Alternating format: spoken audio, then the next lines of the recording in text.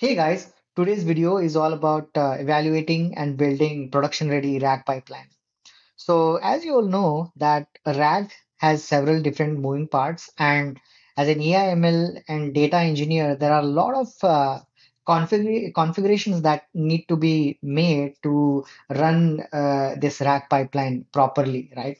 So it becomes difficult to choose uh, the right set of configurations basically uh, when it comes to uh, selecting the chunk size, uh, the AI framework, whether LangChain, LlamaIndex, or uh, the embedding model to use. Uh, so these are some of the some of the always asked questions. Hey, what should be the chunk size? What is the optimal you know embedding model to use for my RAG pipeline?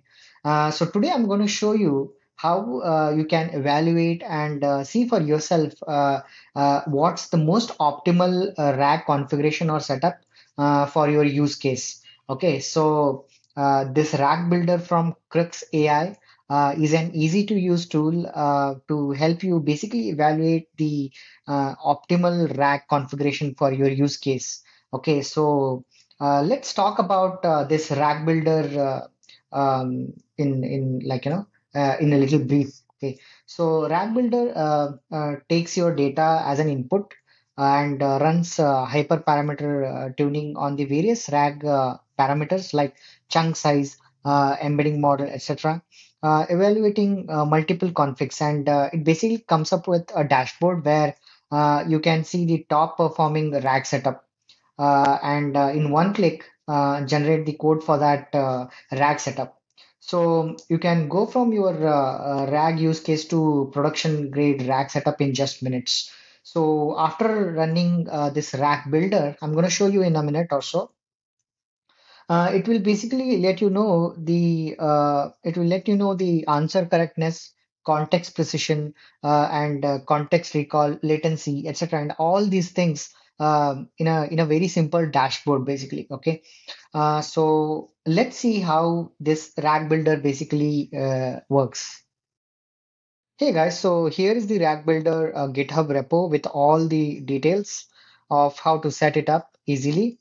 So um, as you can see here, I'm using this second option of using a pre-built Docker image to set up the uh, RAG builder dashboard. So yeah, if you're a Mac user, uh, this is the command. Uh, first, you need to uh, pull the uh, pull the latest image and then uh, run it. So Docker pull this image and then Docker run uh, with the in the in the file where you have basically stored your .env file, right? Um, so once you do that, you will be able to actually um, go to your um, uh, local terminal 55003 and then uh, access the uh, RAG Builder uh, dashboard. Hey guys, so let's see how we can quickly set up the RAG Builder performance dashboard uh, to see the optimal RAG configurations for our use case. So go to the RAG Builder GitHub repo. It is github.com slash uh, KruxAI slash RAG Builder. Uh, once you go there, you can find all the details on how to set up. Uh, but I'm just going real uh, quick here to show you how you can set up um, in a in a minute or so. So uh, go to your terminal and uh, create a .env file where you can add your environment variables. I'm going to show you how I did it. Uh, so if you're using OpenAI key, uh, OpenAI, add your OpenAI key, um, right, to use the OpenAI services for embedding model to create embeddings and all that. Uh, similarly, add Mistral API key if you're using uh, Mistral services. And uh, yeah, mm, I am basically using OpenAI and SingleStore, uh, SingleStore uh, as my vector database to store all the uh, data, uh, vector data, and then um, after after configuring your uh, environment variables, uh, you can uh, use the pre-built uh, Docker image. That's how I'm do, uh, I'm using. There are different uh, other methods to set up the RAG builder, but I'm using the um, pre-built Docker image. Basically, I'm pulling this um, this image, latest RAG builder image, and then I'm running it. using this particular command. Okay, uh, in my terminal, and once we do that, uh, you should be able to see this uh, uh, RAG Builder performance dashboard on your 55003 um, local URL. Okay. Hey guys, so like I said, I'm using the second option to set up the RAG Builder um, using the pre-built Docker image. So this is the first thing, right? To uh, Docker pull. Uh, and yeah, uh, before everything else, you need to have your uh, Docker desktop uh, running on your computer, and then pull this uh, pull this image. And then once you pull that image, the second thing is to run that where your .env file is present. So this is my .env file. As you can see, I'm using OpenAI API key. Um, and uh, I'm using SingleStore as my vector database, right? So once you run this uh, and uh, go to your 55 uh, local host, this is where you will land. Okay, so this is the uh, RAG Builder performance dashboard, and uh, now let's see. Uh, let's create a project and uh, take uh, my own this particular article and and give it as an input data source data and then see the optimal um, configurations for that particular blog right? For that data that we give. So let's create a new project uh, create a new project. And then let's call it like uh, q and a blog chatbot And then the source data we can give, right? Like I said, right? Uh, let me give this uh, source data. And uh, there are two options now. Use predefined RAG templates uh, and then create custom RAG configurations. So creating custom RAG configurations is where we will have more uh, control. So let's do that. And uh, let's click next. And uh, when you click next, as you can see, uh, there are like, you know, detailed RAG parameters uh, you can select right from chunking strategy, chunk size, embedding model, the vector DB, the um, retriever, top K, right? Uh, compression, uh, the LLM to use. So what I'm going to do Uh, for uh, for this particular use case, let me select the recursive markdown semantic character or this one, and then let's uh, keep the chunk size from 1000 to 3000. And then let me uh, select the embedding model as uh, text embedding 3 large. And then since we are using SingleStore database as a vector database, let's select that.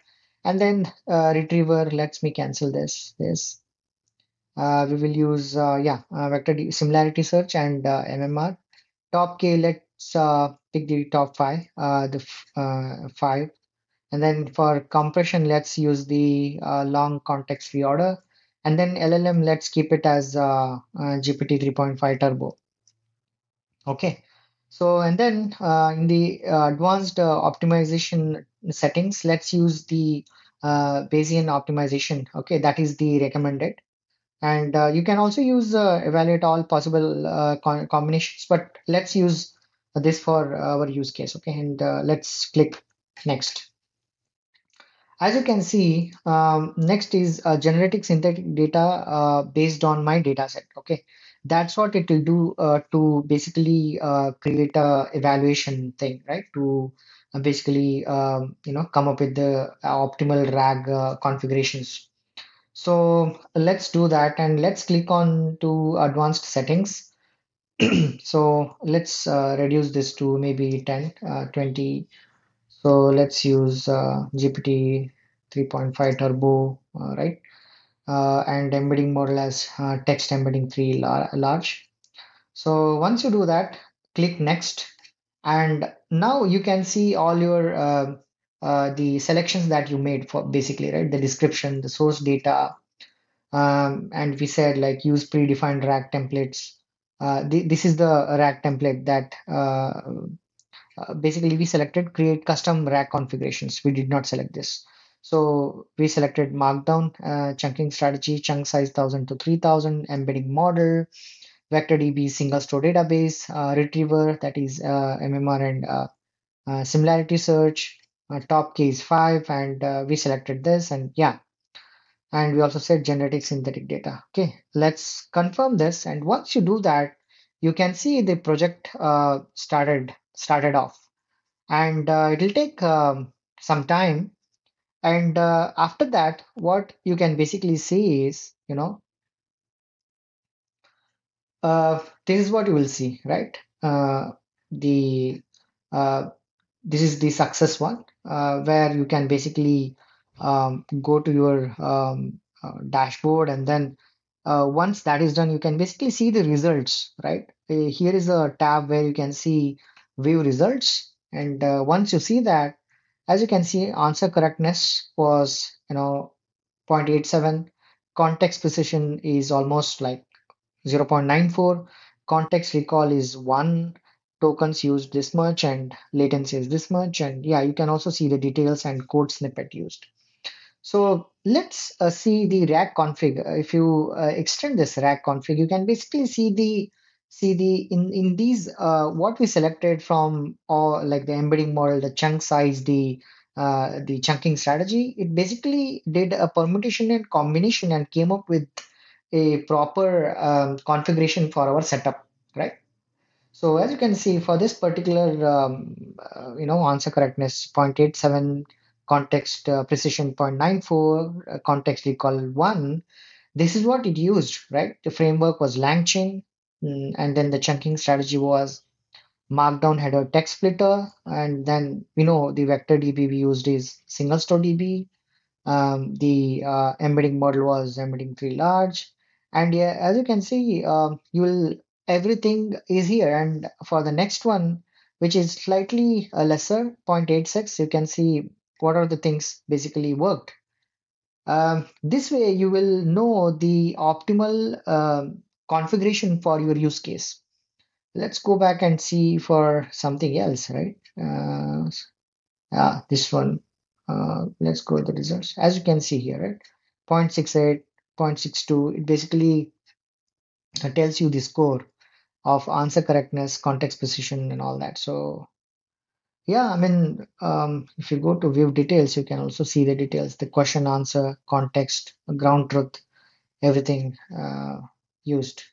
So there are a lot of things. Um, this is really interesting, and I uh, request everyone to uh, go to the uh, this uh, Rag Builder um, repo and then uh, set up and see for yourself for your use case how what is the optimal chunk size, uh, the chunking strategy, the embedding model, and uh, yeah, I hope um this was really interesting and yeah. Um, Well, I'll see you in the next video. Um, if you have any questions about the Rag Builder, let me know.